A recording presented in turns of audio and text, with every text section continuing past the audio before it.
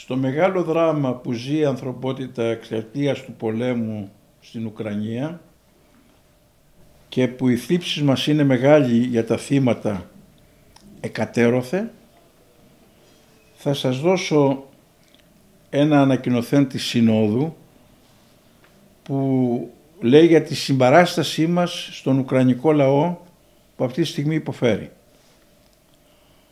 Όμως ο σκοπός που σας φωνάξαμε ο Σεβασμιότατος και εγώ εδώ είναι ένας άλλος.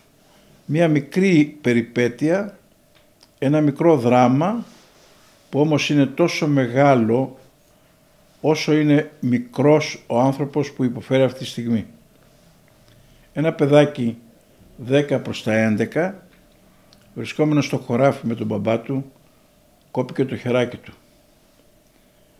Εδώ υπήρξε στο νοσοκομείο σωστή αντιμετώπιση και ευτυχώς όταν έφτασε με το αεροπλάνο το στρατιωτικό στην Αθήνα οι γιατροί με μεγάλη προσπάθεια κατέβαλαν τεράστια προσπάθεια και με ζήλο πολύ ανταποκρίθηκαν στην ιατρική τους επιστήμη και στις γνώσεις τους αλλά και στο ήθος τους και ήδη έχουν κολλήσει το χεράκι του παιδιού. Ο σεβασμότατος Ζακίνθου και εγώ πήγαμε και είδαμε το παιδάκι και μας κατέπληξε η ηρεμία του. Μια ηρεμία φανταστική που δεν το περιμένει κανείς ούτε από ένα μεγάλο. Δεν είδα ποτέ μου ασθενή για οτιδήποτε από το μικρότερο μιας ασθένειας έως το μεγαλύτερο που είναι ένα χειρουργικό τέτοιο γεγονός που του έχει κοπεί το χεράκι του.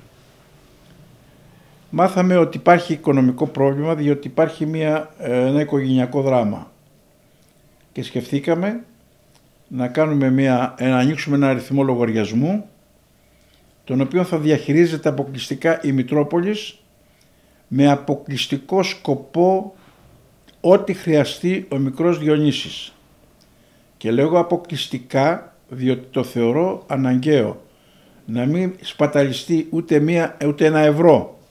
Πάω το μυαλό μου πάντα στη δραχμή. Ούτε ένα ευρώ για οτιδήποτε άλλο, οικογενειακό κτλ. εκτός από εκείνο που αφορά το παιδάκι. Το παιδάκι μετά από τρεις μήνες μας είπανε περίπου, ίσως δυόμιση τώρα ή δύο, θα μπορέσει να κινήσει τα δαχτυλάκια του. Αλλά θα πρέπει όταν βγει από το νοσοκομείο να πάει σε ένα κέντρο αποκατάστασης. Επειδή έχω ιδία αντίληψη του κέντρου αποκατάστασης από δικό μου άνθρωπο, είναι μια δαπανηρά παρουσία και τα λοιπά και χρειάζεται πολύ χρήμα και πολύ ενδιαφέρον. Πρέπει ο Ζακηθινός λαός να συμπασταθεί σε αυτό το δράμα του παιδιού και απευθύνουμε έκκληση να βοηθήσουν στον αριθμό αυτό τον οποίο θα σας δώσω τώρα και τον οποίο σας εγγυόμεθα θα δίνουμε λογαριασμό στην κοινή γνώμη της Ζακίνθου για το που πήγε κάθε ένα ευρώ από εκείνα τα οποία θα συλλέξουμε. Ήδη η Μητρόπολης, ο Δεσπότης και εγώ μιλάω χωριστά για την κάθε περίπτωση, άλλο η Μητρόπολης, άλλο ο Δεσπότης, άλλο εγώ, έχουμε κάνει το χρέος μας όσο ήταν δυνατόν. Από εκεί και πέρα όμως είναι μεγάλη υπόθεση και αναγκαία για την ηθική συμπαράσταση που χρειαζόμαστε για αυτό το παιδάκι. Και καλούμε τους Ακηθινούς, τους έχοντες και κατέχοντες να συνδράμουν αυτή την προσπάθεια με την βεβαιότητα ότι δεν θα πάει, επαναλαμβάνω και υπογραμμίζω, ούτε ένα ευρώ εκτός από την ανάγκη του παιδιού. Σας ευχαριστώ και θα σας δώσω τον αριθμό λογαριασμού τον οποίο εσείς στη συνέχεια θα αναπτύξετε στα δελτία σας, είτε στην τηλεόραση είτε στις εφημερίδες σας. Αν θέλετε επ' αυτού να με ρωτήσετε κάτι, είμαι στη διάθεσή σας.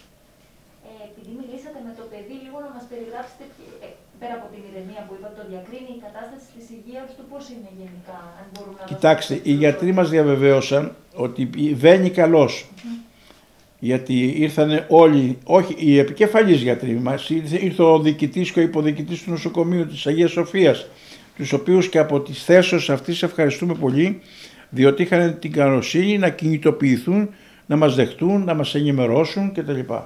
Μετά από την επίσκεψη στο παιδάκι, μας δεχτήκαν στο γραφείο τους και μας ενημέρωσαν σχετικά. Έχει πετύχει μέχρι τώρα η προσπάθειά τους. Είναι μακρά η οδός όμως και πρέπει να, ε, ο Ζακηθινός λαός να δώσει τη συμπαράστασή τους σε αυτό το παιδάκι.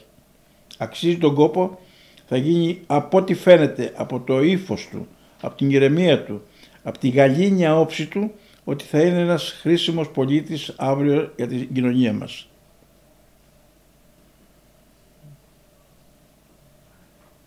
Και αυτό μόνο το κέντρο αποκατάστασης έχει βρεθεί; Όχι ακόμα, Πρέπει να ολοκληρωθεί. θα δούμε γιατί είναι ανάλογα και με την περίπτωση. Σε ποια κατάσταση θα βρίσκεται. Θα νοσηλεύεται με το διάστημα όλων, θα επιστρέψει.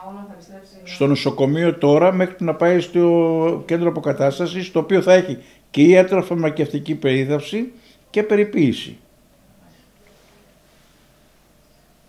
Ευχαριστούμε πολύ. Εγώ ευχαριστώ, ευχαριστούμε πολύ και πιστεύουμε στη συμπαράστασή σας. Και εύχομαι, εύχομαι να πανηγυρίσουμε γρήγορα την ειρήνη στην ε, Ουκρανία.